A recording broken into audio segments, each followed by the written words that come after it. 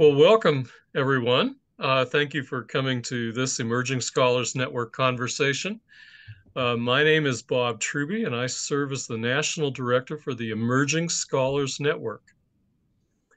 Yesterday morning, I finished reading through the First Nations version of the New Testament, an indigenous translation uh, uh written for particularly with the First Nations people of North America in mind.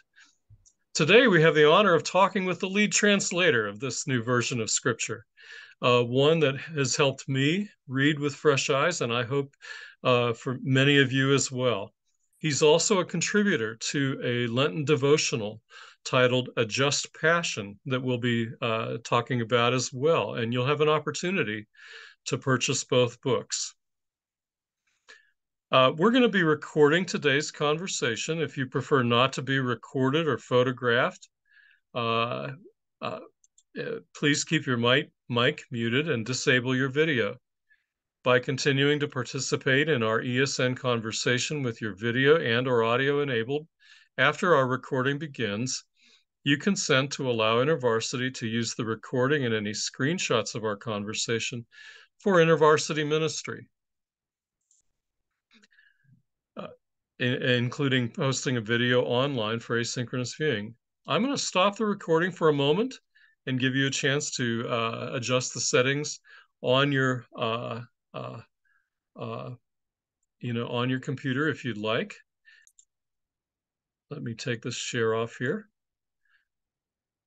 And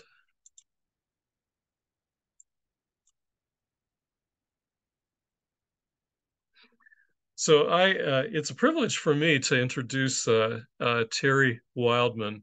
He is the lead translator, general editor, and project manager of the First Nations version of the New Testament. He serves as the director of spiritual growth and leadership development for Native InterVarsity. He's also the founder of Rain Ministries and has previously served as a pastor and worship leader. He and his wife Darlene live in Arizona. Terry, thank you so much. Welcome to our conversation. And uh, you'll want to unmute there. Okay, good. Um, Terry, well, thank you. Uh, please, thank you for joining us. I wondered to begin with, uh, I've given a brief introduction, but I wondered if you might uh, introduce yourself as you might in a First Nations context to give people a little more sense of what that's like. Sure, I'll share an Ojibwe greeting that was taught to me. Uh, I'll I'll speak Ojibwe and then I will translate it for everyone. Buju niji bimarzig. Gitcha nimiki menomash kiki manadu indigo. Terry Wildman nindishnakaz. Nimi noaya gayenim and wendam uma ayayan nungum. So what I said was, um, in Ojibwe was, hello, my friends who share this life together with me. My spirit name given to me by my Ojibwe mentors um, through a naming ceremony is Gitchianimiki Menomash Kiki Manadu. Means voice of great thunder with a good medicine spirit. And I'm also known as Terry Wildman, much easier to live up to. but I, I carry that name, uh, that my native name, uh, to honor my people and, and to, and I also grieve the loss of our language uh, and the, the fact that I, I and over 90% of us uh, do not speak our, our traditional languages. Um, my uh, ancestry includes Ojibwe from Ontario, Canada, um, Yaqui from Sonora, Mexico. Um, my wife, uh, um, uh, Darlene, is a, a, beautiful flute player. We live in Maricopa, Arizona, and we live on the traditional lands of the Pima and the Tohono O'odham two of the the local uh, tribal people here, uh, right around where we live here in Maricopa, Arizona. It feels really good, I said in my greeting, to be with you all here today. Thank you. Well, well, thank you so much. We are honored to have you and, and, and grateful that you would take the time with us. I know you have a lot going on right now. Uh, I wondered if to start with, if you just might tell us a little bit about how the First Nations version came about. Why was it felt that this translation was needed? Well, the short version of, of the story is that my wife and I were living on the Hopi Indian Reservation in northern Arizona. I had served uh, two years there with a mission organization and then began pastoring an a, a uh, American Baptist church on Second Mesa. And as the pastor there, I wanted to begin to incorporate as much of the culture as I could uh, within, within our, our services and everything. And um, we used uh, the NIV. Almost all the churches out on the res uses use the NIV Bible, and we jokingly called that the New Indian version, just because we all used it. But um, but um, I began to notice when I did uh, I did a lot of jail ministry and different things. I began to notice that people weren't really connecting uh, to uh, the Bible passages, to conversations about Scripture. So um, I just began to uh, reword things. I, I, worked with some of the men and women in the in the jail ministry in different places, and we began to reword the scriptures in English since our people aren't speaking our languages. Even less can read the language. So imagine that that that on the Hopi res, maybe uh, I I could only I only heard I never was able to verify this, but I heard there was one Hopi pastor that could read the uh, from the Hopi Bible. But I found that Bible in the storage room in our church fellowship hall, and that Bible um, uh, I was so excited. I wanted to re- I wanted someone every Sunday to read from the Hopi Bible and then translate it over for us and I found out that uh, none of our the people in our church could read it uh, or anything, and that's what stirred me up to begin to work at, with this idea that well, if our native people aren't reading all these Bibles that were translated into our languages, and, and over the years, I've learned that that it was worse than I initially thought.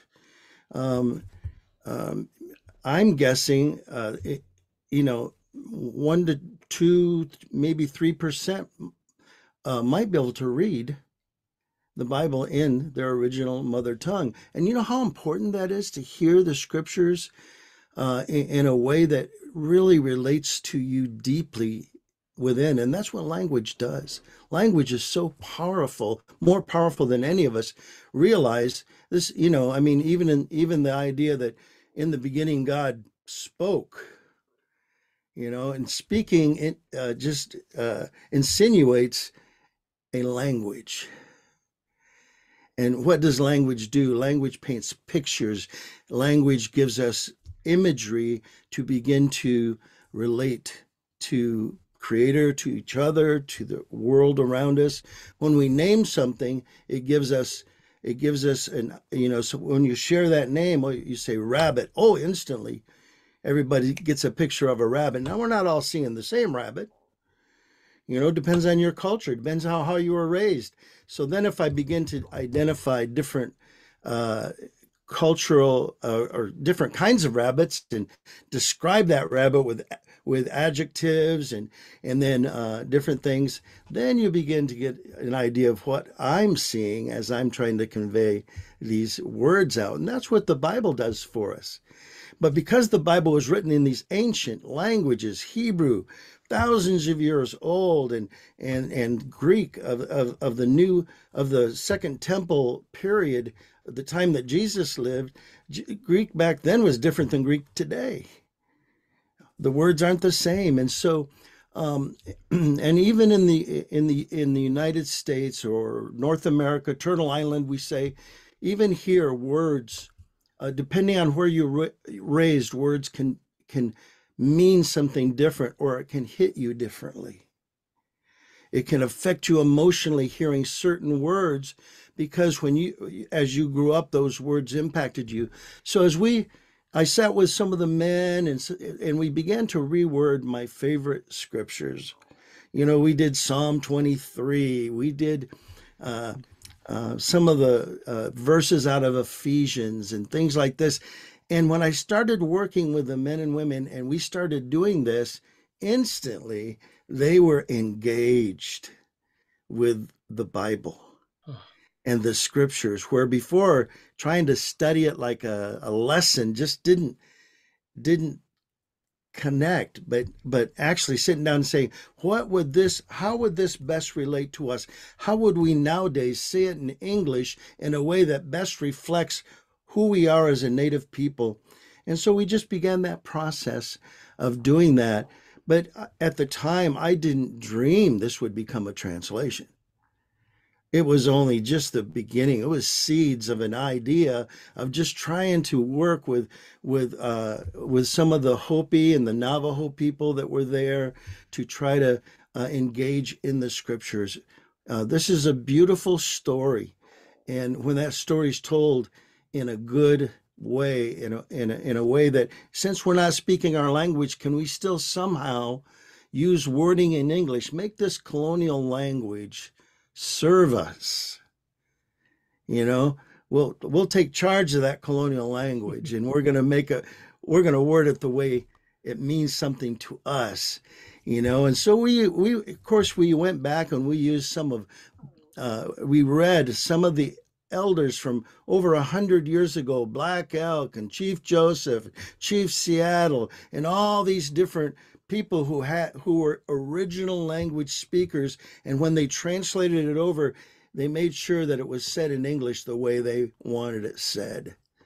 And and I, I thought it was beautiful. So we used phrase phrases from the elders the old ones the uh, the ancestors so to speak. And so the idea of the first nation version was to you know, when we finally got to it, and I, I didn't tell you how we got to it, but uh, when we finally got to it, the idea was to have one of our elders, our native elders, telling the story to the younger generation, and that was our goal. It was to to uh, you know we we we we could have come up with some res slang version, but but it, it didn't have the dignity and we wanted this to have the dignity of our elders and, the, and our ancestors, the way they spoke with, with uh, powerful simplicity. I love it. Um, mm-hmm. So, uh, after years of doing this, working with this on the Hopi Res, my wife and I lived there five years. then we began to travel, and we took our music and this these translated or reworded portions of scripture on the road visiting reservations, visiting native communities, doing things at powwows. And I would just, she would play the flute and I would read uh, from the translation uh, in a storytelling manner. And and uh, the native people that heard it, they would come up to me. they'd say, "Oh, you're saying it, you're saying it in English the way we think it in our language." And they'd say, "Oh, you need to keep doing this." We need a hmm. Bible like this. Some of them even came up and said, What Bible were you reading from? And I said, Well, there isn't one. And but I kept thinking there's someone out there that's going to do this, right? I did research. I tried to find something, nothing. And finally, uh, it was in in, a, in about 2012. Um, I made the commitment and said, uh, I felt okay, God. Uh, some people prayed over me, a large number of people prayed over me, and they said, Terry, you should pray about that. You're the one to do this. God has put this on your heart. And I, uh, you know, I didn't feel, uh, I wasn't trained to be a translator, formally trained in any way. Yeah, I learned some Greek and Hebrew basics. I, I, I know how to use Logos Bible software. I know how to get a, a hold of those commentaries and and so uh, eventually I committed myself to the process and uh, and began the the journey of translating. But we we first did two books. We did uh, the birth of the chosen one, which is the Christmas story. In this in this, but we had we weren't working with a Bible translation yet we weren't uh, we didn't have a, a, council yet. I just had a bunch of friends i would run my ideas by. Native uh, friends who would give me feedback on on things. So we did that book and we did another one harmony of the gospels. All four gospels harmonized which is impossible. We did it anyway. Um, and so uh, and we were testing it out there and we were getting such good feedback and then I started the translation in 2015, and that's when uh, when I I did I kind of thought, well, who's ever going to read this? Because who's going to take Terry Wildman seriously? Who's this guy, and how was he trained? what's what what college or what university did he, did he get his language training from and all this kind of stuff mm-hmm. and i i couldn't i'd say well you know i just have this thing. But that's when the bible translation organization one book in canada found my website found my facebook page and said we like what you're doing terry.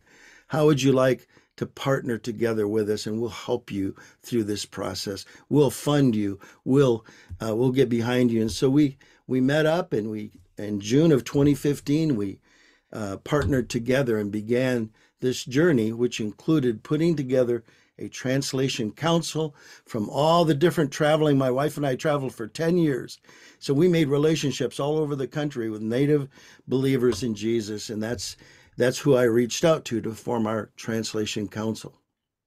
Hmm. So that's a, a, little bit of that's the short version. Yeah, well, you've you, have you have actually told us some about how this project came together. What was the actual experience of, of you know you transitioning from having translated selected portions of the New Testament to doing working on the whole New Testament? What was it like for you to immerse yourself in that project? Uh, it was it was pretty much overwhelming. I can imagine. You know, it, it, it, I just felt so big. It felt so so just just huge, and then it then I felt the weight of it. The weight of it. I thought, wow, we're doing this translation that other people are going to read. That's going to get out there somehow, and I've got a Bible translation. Uh, organization giving it credibility. I've got a council to help give it credibility and to add cultural depth, more cultural depth to it than I could. And by putting all these things together, it, it was a challenge. We had to figure out how we were going, going to do this translation. Here we are. We live all over the place. I mean, we, we got uh, council members in California and Washington State and in Arizona and uh, Ohio and New Mexico. I mean, we they, we were all spread out, and we we couldn't afford to fly and meet together very much. But one book did bring us together. Once we formed the council, they brought us together twice. Once in Orlando, Florida, with um, Wycliffe Associates, and they helped us for a whole week to look at the idea of a group translation, and then for for three weeks in or two weeks in Calgary, Canada. We met together, our whole council, and that's where we began to identify not only uh, how we were going to do the translation, but but um, the way we would work together. And one of the things we had to do while we were in Calgary was to identify over 185 key words and terms in the New Testament because Wycliffe said you've got to get these 185. These are the most important words that in a translation into another culture or language. And we weren't translating into another language, but we were translating into another culture. And that was that that was its own challenge, and that's uh, uh, what makes this, in some ways, a unique translation. But we we we identified words, uh, went through the whole entire list, 185, got that worked out. And then finally we decided, well, I, I learned about this amazing thing called Google Docs. And, and I thought, and, and how you can work on one document with everybody. You just give them permission and, and, and you can set up controls on it you know? Oh people can only make suggestions. And so i would set all the reviewers up as suggestion makers and we would go through and and and uh, sometimes we we would hammer out some ideas uh, when suggestions didn't match. And uh, you know when there was uh, wasn't full agreement then we we we would uh, sometimes get together uh, sometimes we'd call in professor hawk from from Ashland Seminary. Sometimes we'd call on other native leaders and theologians to give us some ideas, uh, and uh, and that's that's how we did it. And we and it was a process. It was a challenging process. It took us five years uh, to work through this here, and and four of those years I was pastoring a church in northern Michigan. Uh, an Anishinaabe church, uh, mostly Odawa or Ottawa, and uh, and and doing the translation together. So that was that was another challenge that happened. So yeah, it was. Uh, I learned so much in the process, and and it was, I I'll never. I mean, it was so much work, and I'm now we're doing Psalms and Proverbs, and that's that's a different kind of approach and different challenges involved in that. But but um, I I I I now have a depth of appreciation for Scripture and for our native culture that I I never had before, and so it's been so good for me spiritually uh, to to do this and to work on this project and. I'm just amazed that God called me to do this and to oversee this and help push it forward. Mm it it it does sound like God worked and God opened a way for you to do this. Uh, uh, uh, that you kind of walked in the path that God was setting before you, and He kept leading you into it. Yeah, kind of like I thought. I always thought of it like Abraham. Okay, I want you to go here, but I, but he didn't know where he was going. Hmm. He didn't know exactly how to where, where God was taking him or where, where it would end up. But but he just kept going in that direction. As long as he kept going after what God told him to do, he was he was doing okay. And even if he messed up, God straightened him out. You know, I figured he must be able to do the same thing for me and for Amen. our team. Hey, I wanted to ask you if you could read a passage for us from the First Nations version that might give our audience some sense of the unique features of the translation.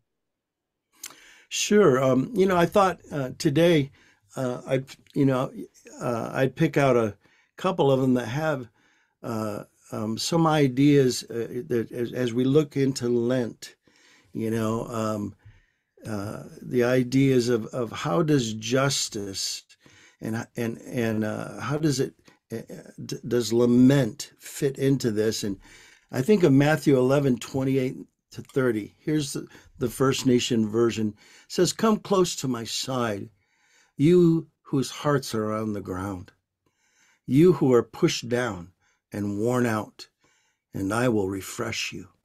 Follow my teachings and learn from me, for I am gentle and humble of heart, and you will find rest from your troubled thoughts. Walk side by side with me, and I will share in your heavy load and make it light. So there's a little bit of uh. I'm sure you're all familiar with with with that scripture and the standard way it's translated. Um, Greek scholars tell me, "Oh yeah, that's what that that's a good translation," and that's what I loved about this is we've had lots of Greek scholars, uh, seminary scholars, and and Bible translators actually say, "Wow, you you did a good job." Well, we had the help. Of, uh, one of the things I used a lot was the United Bible Society's Translator's Guide. And the United Bible Society creates these guides for translators to translate into other cultures and other languages. And it was it's it was just perfect as a as a as a guide because the Hebrew and Greek scholars were the ones that put these guides together for the translators to help them in that process. Let me share. I, I think I have another scripture I can share. Um, here. I love this one, Romans 12 19. He says, My much loved family members, do not take the punishment of others into your own hands. Instead, turn all anger and wrath over to the Great Spirit. For the sacred teachings tell us punishment, punishment for wrongs belongs to me, says the Great Spirit Chief. I will make sure the wrongs are made right again. And, and again, there's this idea of justice in there, but also the idea that that we're not to take matters in our own hands and violently react to injustice. We are supposed to react to injustice, but with with uh, compassion, with love, with words, but not with uh, with violence. And my as I read the scriptures, um, another one that I would like to read. I love this one, um, Ephesians uh, four twenty through two through twenty four. And what we pull in here uh, is this is the word native people the outfits we wear at, at our, our gatherings and our powwows and things like that we call that regalia which is kind of a, a regal wear you know um, so ephesians says this uh, take off that worn out and stained outfit of your past life with its selfish desires and worthless ways of thinking it no longer represents who you are you are now true human beings with a new way of seeing and thinking. Put on the regalia of your new life, for you have been made new, created again to look like the one who made you, standing in a good way and walking a true and sacred path. One more. Uh, I love this. I love. I love that. By the way. Oh, you good, good. Uh, that's that's wonderful, boy. That is well, so rich. Yeah, it really. Re- a lot of Native people said this really relates. I relate to the idea of this putting the regalia on that represents who I am and the regalia of Christ, the regalia of the chosen one. Mm. I'm wearing his regalia. I'm representing him as I dance my prayers and and everything. I love it in Luke chapter 11 Jesus talks about remember knock and keep on knocking all this. Uh, here's how we uh, translated 11 9 through 10 it says keep dancing your prayers and the way will open before you search for the ancient pathways and you will find them. Keep sending up your prayers and they will be heard. Answers will come to the ones who ask. Good things will be found by the ones who search for them and the way will open before the ones who keep dancing their prayers. And again, we use a lot of different wording here, uh, but it's wording that conveys this idea in a in a very picturesque way, uh, in a very, in a sense, a very powwow culture way. Uh, and sometimes we used elements from modern powwows in this translation to convey some of the uh, meanings of words. And, you know, like where Paul talks about, um, you know, he hasn't arrived yet. Um, but he keeps, uh, we call Jesus the headman dancer. Hmm. He's leading the way, you know, and, and we use different terminology uh, that our native people relate to. And then non native people think, wow, that sounds, they tell us, that sounds cool, but what does it mean? and then we get to share our, a little bit of our culture and stuff. But there's a couple samples. I, you know, if you have a special one, I could probably look it up or something. But uh, uh, we're we're trying to convey it in a way that's that's meaningful, that's relevant to our people, that's not uh, it's not dumbed dumbed down in any sense of the word. Um, it, it's it's uh, it's done with dignity uh, and with the sense that they that we are dealing with spiritual things here. If you ever read um, uh, the book, um, there's a, a, book they, they just made a, about a Lakota man. They just made a movie about it, uh, something about dogs. Oh, I can't think of the title. But anyway, he says in there, because people kept saying, someone was interviewing and saying, why, well, why aren't you doing that Indian talk? And he says, well, what, what do you mean? well, you know, the, the way you Indians talk. And he then he kind of goes off and says, you know, well, hey, you know, we're just uh, you know, you're just kind of putting that on us and everything. And we don't use talk like that um, every day. And then later on, you find out when he starts storytelling, he goes into his Indian talk. You know, he starts talking like in the way you'd hear the First Nation version. And then the interviewer said, But I thought you didn't talk like that.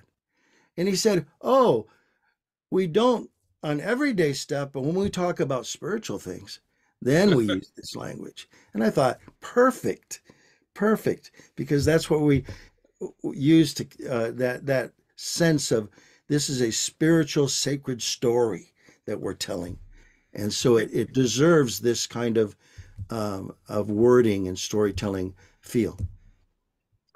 Terry, I wonder if we could just transition to briefly talk about uh, the other work that you've contributed to uh, called A Just Passion, which is a collection of Lenten devotional readings. There it is. Yeah, I was so surprised one day. I I opened up my um.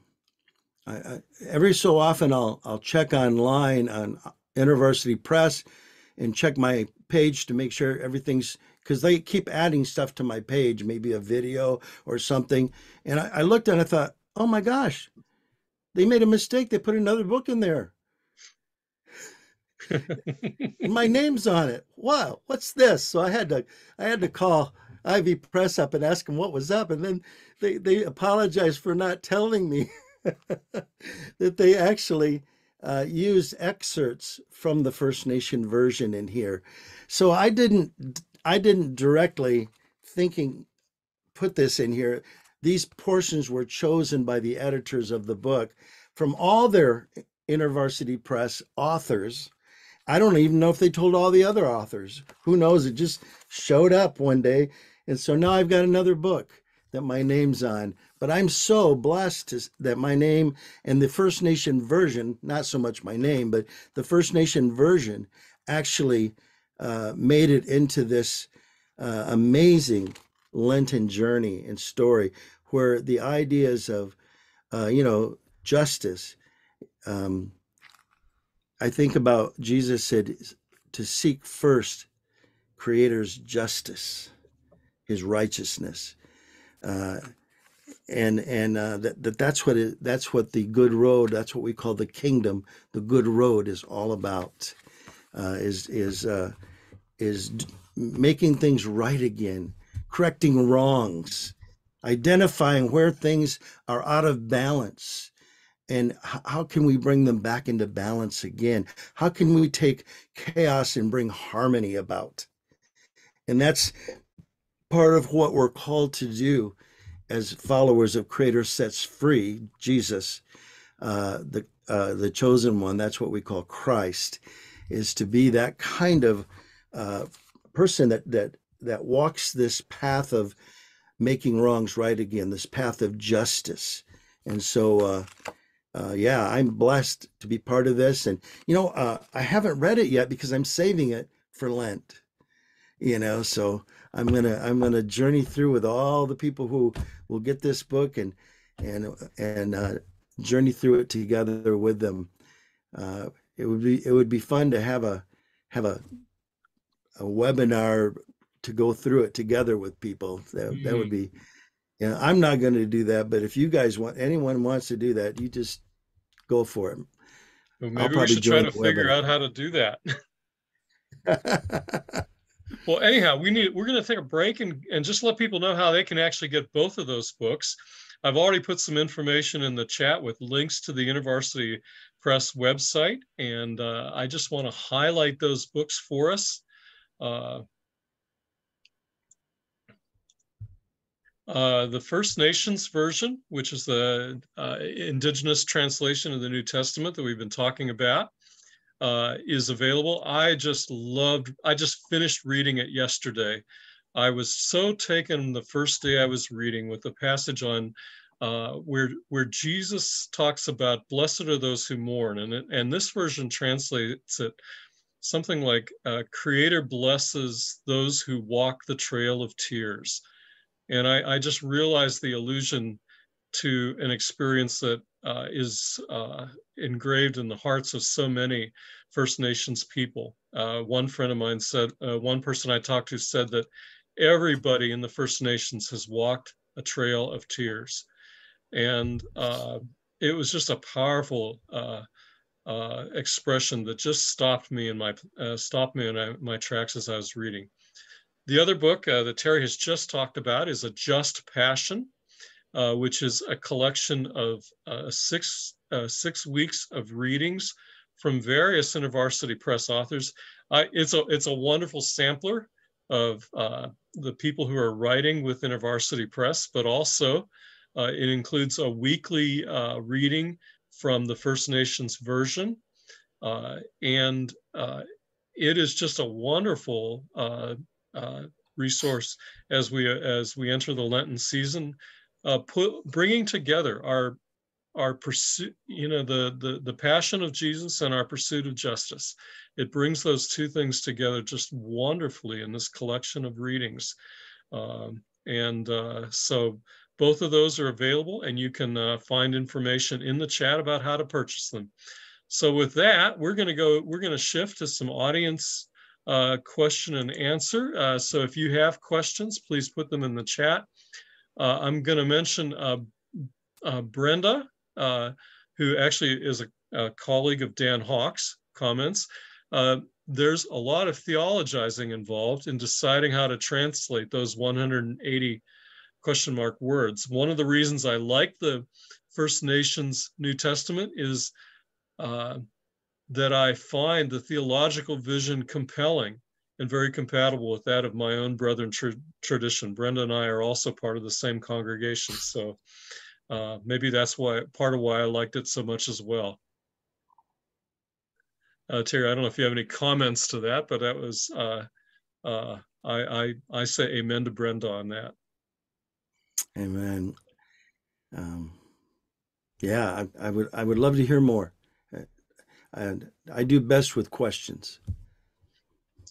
Okay, well, um, while while folks are getting things in there uh, in, into the chat, one of the things I wanted to talk with you about, uh, one of the questions we didn't get to yet that I'd sent you was um, one of the distinctive features of this is that you translate the meaning of Hebrew names of people and places into English. Jesus, for example, is creator sets free. Uh, would you explain how you made this translation choice? Why why you do that, and you do that throughout uh, the whole translation? Well, interestingly enough, from the very beginning, when I sat with the uh, the men and women on the Hopi Res, and we began to just reword scriptures, we had to come up with, well, you know, we said God isn't a normal word we'd use when referring to the divine being. What do Native people use? Oh, we use Great Spirit, we use Creator, and then you know as I as we go, it extends out. Uh, maker of life, giver of breath, and so and so. From that beginning, we began to realize that every, and I knew from studying Hebrew and from Paul's theology that names have meaning and that sometimes the meanings of the names give insight to the story being told in the Bible, in the New Testament, or in the Old Testament. The very meanings of names. And Paul theologizes in Romans, and he talks about Abraham and the meaning of his name, and how that he is the father of many nations. And, and so Paul actually uses the meaning of Abraham's name for his theological position that he takes. And um, so, so since our native cultures, traditionally, all of our names had meaning. Hmm. And uh, of course, you know, er, uh, sometimes we have more than one name, and that's true biblically. Abram went to Abraham. Paul or Saul became in the New Testament. Uh, Saul became Paul. There's other uh, other examples of different names being used. Many times in the Psalms, uh, when the the psalmist is speaking, sometimes he uses the name Israel to refer to all the tribes. Okay, the the uh, then other times he'll say Jacob, and all Jacob and Israel the same person but they had a name change. And the name change itself is there's a story behind why the name was changed. Now, if you ever watched Dances with Wolves, you'll understand how they named Kevin Costner because he was playing he was playing with that wolf and that wolf was going back and forth and he was trying to grab something and they and they and they looked him and they said oh he's dancing with wolves. In other words that became his name because that's how they saw him. He's the one who dances with wolves. And so um, in our in our native culture sometimes our our we'd get a, a, several names from different clans that were part of our our, our family tree uh, part of our, our totem and different things. So biblically, it's the same way. So what we did is uh, what I began to do, and, and we and the translation council adopted it. Matter of fact, at first I didn't do the names of places, but the translation council said, "Let's do the names of places too."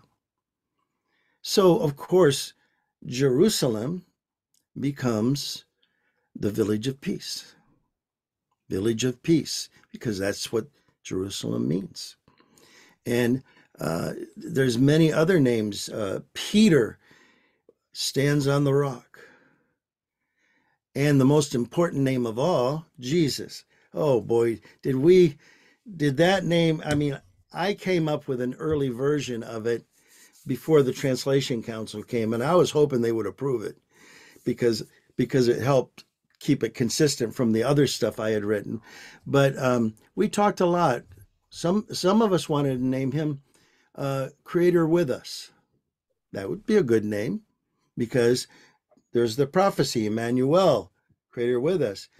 But but the actually the angel said the way that that prophecy of Creator with us came to pass was by giving him the name Yeshua.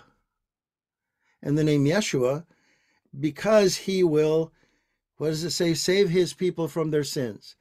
He so we said uh, Yeshua is Yah, the short version of Yahweh, and Shua, or I, am not sure how it's pronounced.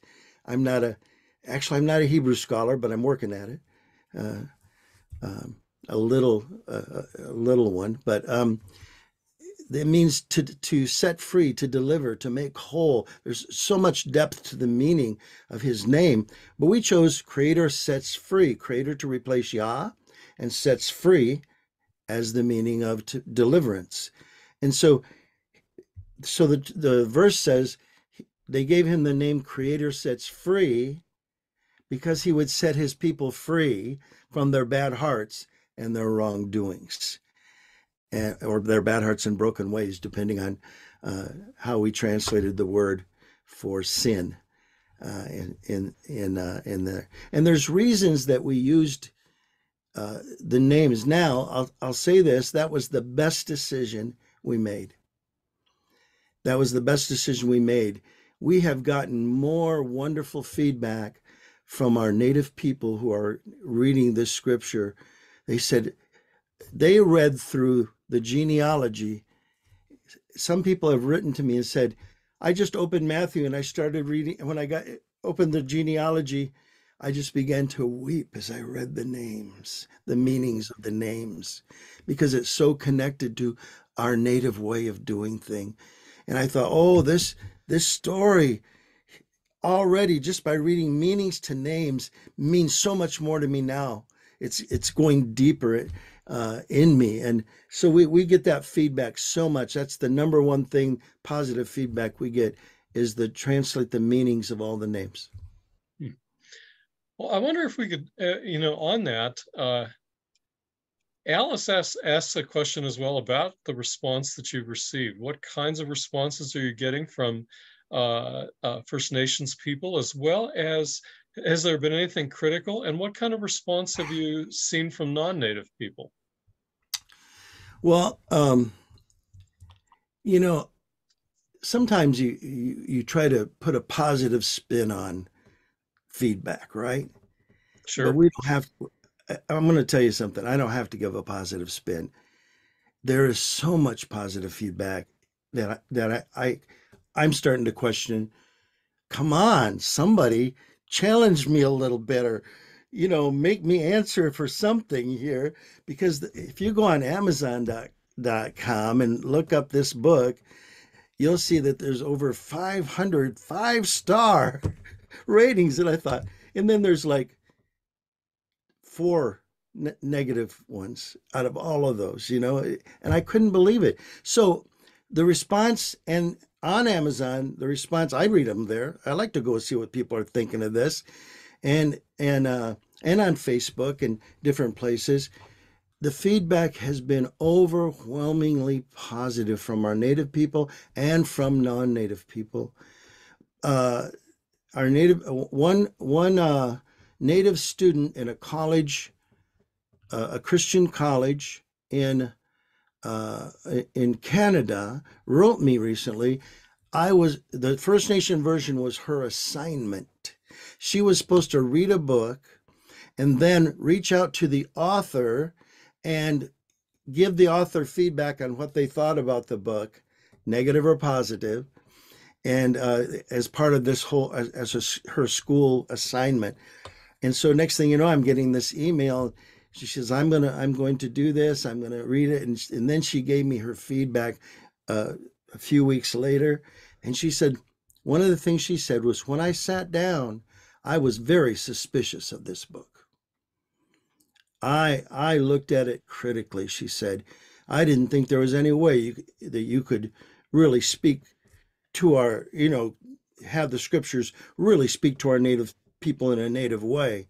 She says, but the more I read it, the more I realized, oh my gosh, this is opening me in new ways. This is affecting me.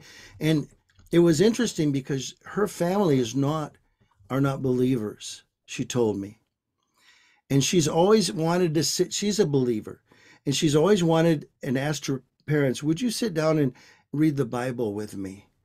And they would say no no. Well when she took this bible to them and told them this is a, a bible done by native people and for native people they said okay we'll let, we'll let you read some of this. And they started reading it together and they liked it. And now they read regularly together as a family. They are reading the scriptures.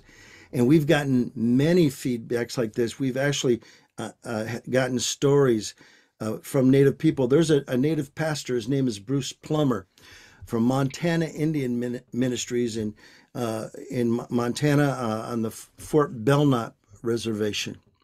And he's done ministry for years uh, and years. He has the, the respect of his people well, he found a copy of this, and he's under a Southern Baptist ministry. And he found a copy of this and loved it, but wasn't so sure it was a good one. So he gave it to his Greek scholar in the Southern Baptist that he knew and said, Is this okay? And that scholar wrote back and said, They did a great job. It's okay. You can use this one. and so he now he he's made it part of his mission He's told me this, and he's praying for 50,000 copies. That it, and and so he's I think he's gotten up to 8,000 so far that he's distributed onto reservations and different places. I heard that a, ch- a church working with the tribe, uh, the Ute tribe, has distributed one to every family on the tr- on, on the uh, mm-hmm. Southern Ute tribe. Um, I'm getting all kinds of feedback like this uh, that it's being used, it's being accepted, it's being brought into churches.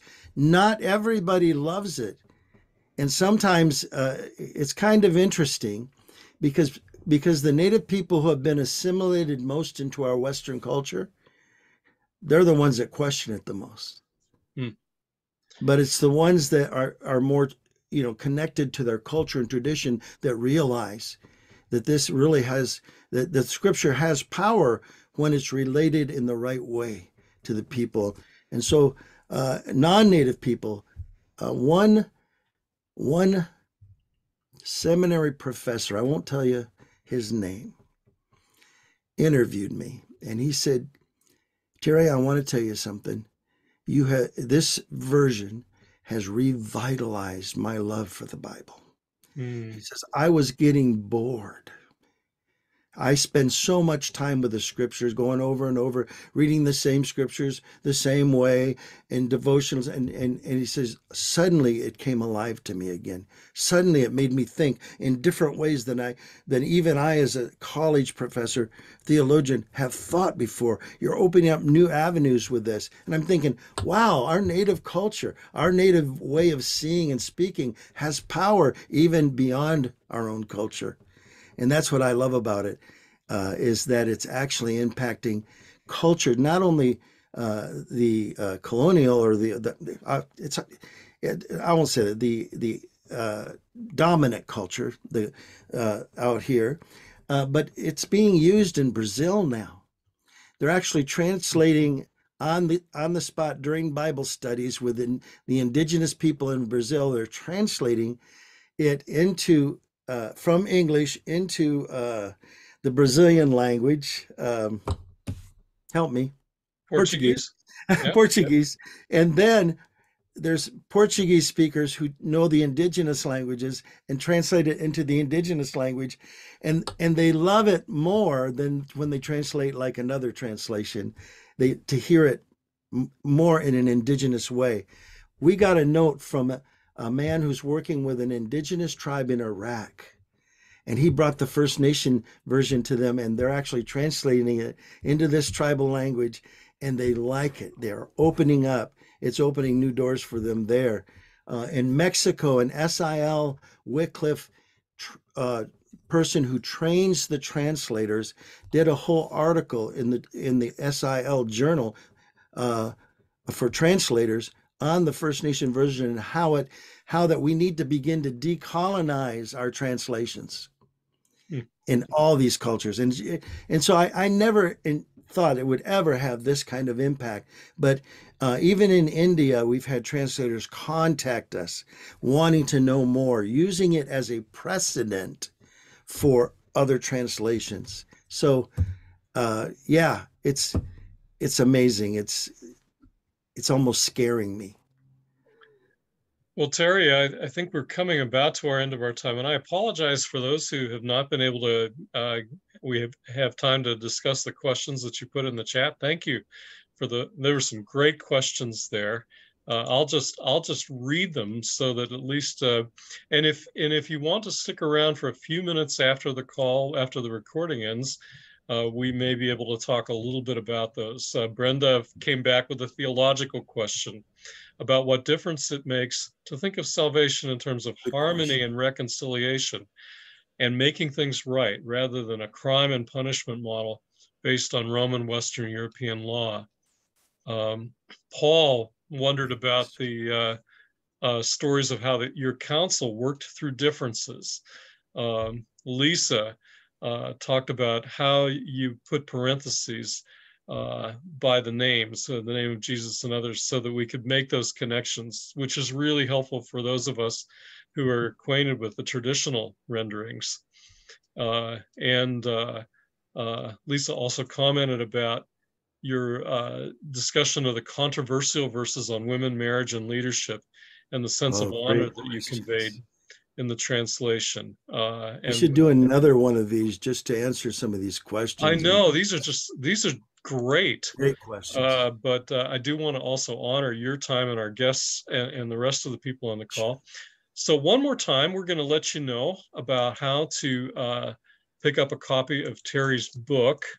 Um, and also, uh, I'll have information in the chat uh, about our next conversation. Maybe we should schedule another conversation, Terry. This is this has been so much fun, and I I want to just say, I do value what you have done in terms of not only how this speaks to our First Nations peoples, but how this speaks to the rest of us. Uh, and uh, I, what what I think uh, some of your comments and our discussion have, have revealed is that this is a version that is enriching for the whole church, that God has given First Nations people things that are gifts to the rest of us as well that we can receive. And I want to thank you and, and express my own gratitude to you for that. And with that, I'm also going to do uh, a commercial here.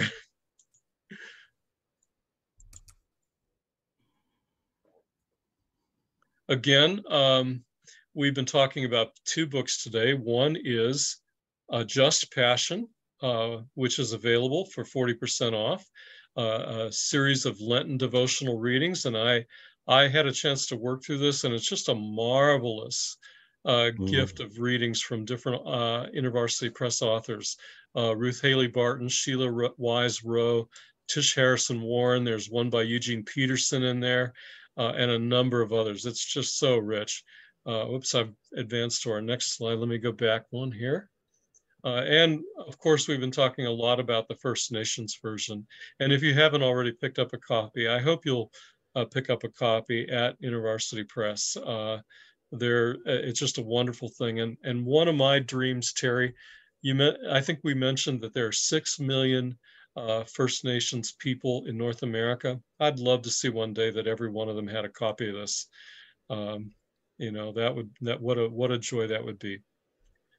Our next conversation uh, is with uh, uh Kyle Meyaard-Schaap uh, on a book that uh, he's coming out with called "Following Jesus in a Warming World." Many of us are concerned about what's happening with our climate, and how we care for uh, the creation.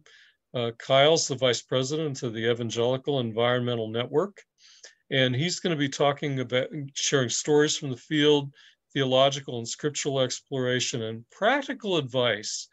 Uh, I think for many of us, one of the real questions is Is there hope in terms of what's happening in uh, our world? And Kyle believes there is, and offers uh, ways that we can turn sort of this paralysis of analysis into meaningful action. And so um, there is information in the chat about how you can sign up for the next conversation, which will be on March 9th, uh, noon Eastern Time, 9 a.m. Pacific Time. So please come and join us. Uh, finally, uh, we just want to thank everybody who has been here today. Uh, first of all, I, I, just again thank Terry for your time here. Uh, we thank all of you who have joined us. We'd like to thank InterVarsity Press for its uh, assistance Absolutely. in creating these conversations and for the great discounts on books and all the rest. Uh, we uh, the conversation is brought to you by the Emerging Scholars Network. And uh, we would love if you've not joined us uh, that you might do so at blog.emergingscholars.org that will uh, sign you up for a monthly newsletter that lets you know about these conversations and other kinds of uh, conversations and events and resources that the Emerging Scholars Network is developing. You can also follow us on Facebook, Instagram, and Twitter at ESNIVCF and visit our YouTube channel, uh, uh, which is also youtube.com slash ESNIVCF. So with that, uh, we're going to conclude our recording and thank everybody and uh, especially Terry. And uh, if anybody would love to stick around to talk a little bit more, you're welcome to do so for at least a few minutes and then we'll let